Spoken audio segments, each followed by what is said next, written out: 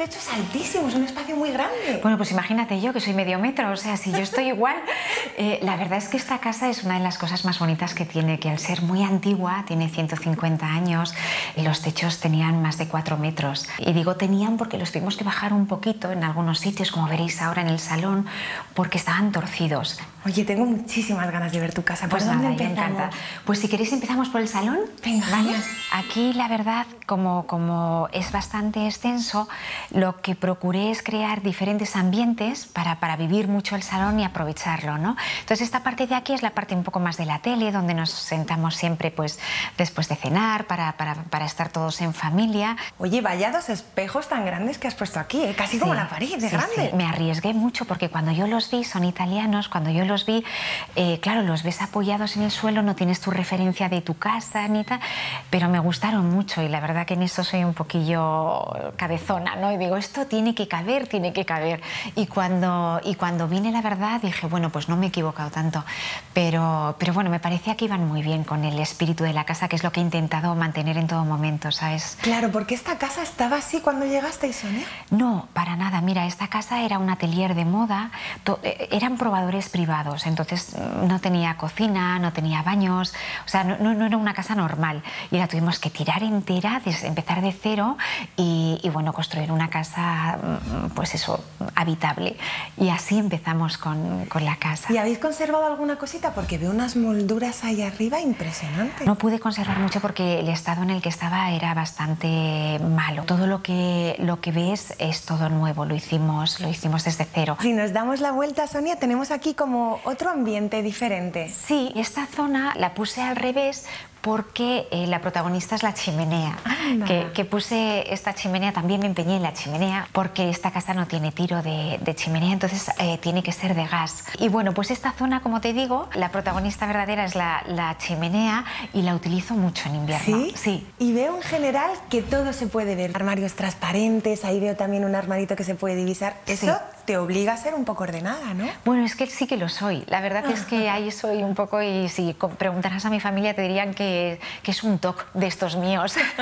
soy casera, me gusta disfrutarla y es algo con lo que realmente disfruto. Entonces, el que todo esté abierto y todo esté tal, me parece que es como muy transparente todo, Eso es. ¿sabes? ¿Y ese arco también tan impresionante estaba aquí en la casa? No, no estaba en la casa y ahí había un espejo donde las novias, porque este era un atelier de novias, se veían. Yo es que siempre eh, imagino y me recreo que aquí ha tenido que haber mucha, mucha historia detrás. Mira, este armario de aquí de Varías lo compré en un mercadillo porque yo soy una loca de los mercadillos y este de aquí lo compré hace 25 años. Este.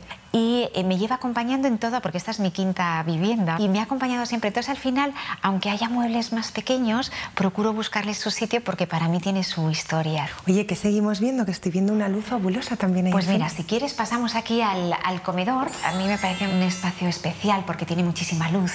Es, es hiper alegre. Es como un semicírculo. Sí, sí, es como, eh, porque es donde hace chaflán el edificio y bueno, este, este mirador es espectacular, la verdad es que respira la antigüedad de la casa y por eso la luz que tiene aquí. Nosotros comemos aquí todos los domingos, esta mesa también es de cristal y de hierro, he utilizado mucho eso para, para eso, para aligerar eh, el aspecto y, y un poco el ambiente. Y es un espacio que realmente para mí de los más bonitos de la casa porque además eh, guarda la única pieza que pude rescatar de lo que era la casa que es no sé si se ve pero es esa estrella que está en el suelo sí porque el suelo de la casa eh, bueno era maravilloso era de pinomeli pero estaba tremendamente devorado, o sea, estaba en muy mal estado y no lo pudimos ni restaurar ni rescatar. Pero este era el dibujo original que tenía la casa.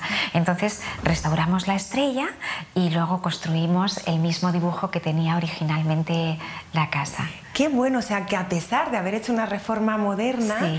has querido conservar en todo momento el estilo clásico con estas lámparas que pensaba que eran todas iguales, pero no, tienen su toque distinto. No, todo lo compro distinto. Yo creo que son los pequeños detalles los que a mí me hacen disfrutar decorando mi casa y, y luego pues le dan como más personalidad, ¿no? ¿Y quién vive aquí?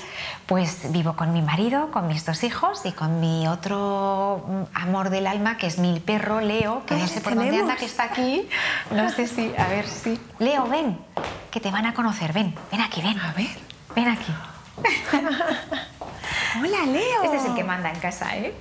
Hola, Leo. Es, es, el rey de la casa, ¿verdad? Es el rey de la casa, el manda. Yo creo de la casa. Pues sí, la verdad, porque me encanta, me encanta cocinar.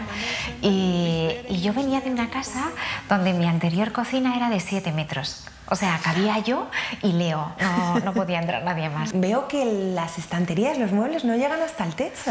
No, no, la verdad es que era misión imposible, nunca mejor dicho. Entonces lo que hicimos fue tunear la cocina, ¿sabes? Pues bueno, yo le diseñé un poquito como, como digamos, los apliques para, para aumentar el tamaño de, de, los armarios y que tuviera un poco más de coherencia con la altura de, de, la, de la, estancia, ¿no? de la cocina. Te tengo que decir que además eh, el hándicap que tengo con esta cocina tan alta es que yo solo llego a la primera balda. Entonces, todo lo fundamental lo tengo en la primera balda. Luego ya es tema de orden y limpieza, como digo yo. Lo que más utilizo es justamente esta, esta alacena. Que lo tienes iluminadito y todo. Sí, bueno, son pues eso, los detallillos. Eh, y aquí es donde tengo todo lo que utilizo pues en el día a día, ¿sabes? Para, para comer y para cocinar. Oye, ¿dónde nos llevas ahora? Me está encantando pues todo. Pues mira, eh, si queréis vamos a mi habitación, ¿vale? Y os enseño la habitación. Pasar por aquí, por favor. Bueno, pues esta es la habitación principal. Pero si parece un hotel francés del siglo XVIII. Bueno, la verdad es que es un espacio también que cuidé mucho porque me apetecía que fuera muy amplio, muy relajante y, y por eso el, el, diseñar los armarios de esta manera, no quería dividir los espacios del baño y la habitación, quería que estuviera todo en un ambiente único. Y... ¿No llegan al techo tampoco? No, no llegan. Pero esto sí que es a propósito total porque lo que me gustaba era que se viera la profundidad y la altura del techo, pero de toda la estancia, o sea, un, uniendo con el baño también. Entonces me parecía muy bonito el hecho de que, oye, los armarios hasta ahí te hacen el, un servicio estupendo, eh, no necesito subir hasta arriba, sin embargo, el, ambiente que genera el tener continuidad en el techo desde toda la estancia me parecía que podía ayudar mucho. Oye, y esta cama es muy de princesa, te tengo que decir que me encanta. Bueno, la verdad es que sí, son, son muebles como muy romanticones, ¿sabes? Forman parte de, esa, de ese ambiente que me gusta generar, ¿sabes? De relax, de tranquilidad. Yo siempre digo que cuando vengo a dormir aquí, o sea, para mí es como una, un espacio Siempre digo que los problemas parece que se desaparecen un poquillo, ¿no? Estás en un entorno como seguro, como a gusto y, y estos detalles cuentan. Oye, me decías que tenéis el baño abierto, yo lo he estado viendo un poquito por aquí. ¿Me llevas? ¿Tiene claro una sí. pinta? Llegamos enseguida, hasta aquí, hasta aquí. Oye, pero es un sueño este baño, es muy bonito. Bueno, la verdad es que es muy cómodo porque lo tienes todo a mano y forma parte un poco del rollo que yo quería, ¿no? Cada uno tiene su, su rinconcito, un poco el estilo francés, ¿sabes? Que al final hace eh, que tenga ese matiz antiguo, ¿no? Más clásico, sí. Esto es mi otro, otro capricho a, a, juego de lo de los espejos, del, del, estilo, porque yo me empeñé en esta bañera, ¿no? Es, es, al final, creo que el baño lo permitía y es una bañera que es, es una gozada, porque al final ah, sí que la utilizo, pese que... Eso te iba a preguntar. No, no, la vas a usar, va a ser de adorno, tal. Pues sí que la utilizo, es una gozada y bueno, es un rincón muy chulo. ¿Y el inodoro lo tienes escondidito? Pues sí. Esto no, no tenía que ver eh, tanto con la transparencia. Entonces, eh, bueno, pues siguiendo un poco con la línea, lo que decíamos antes, eh, francés es muy francés, o sea, el tener en los baños el inodoro metido aquí y lo otro mucho más visible. ¿Hemos terminado ya de ver tu casa, Sonia? Bueno, eh, mira, queda solamente una cosa que me gustaría enseñarte, que es una zona también de estar y donde se está a gusto viendo la tele y es más informal. Si quieres, la vemos. Claro.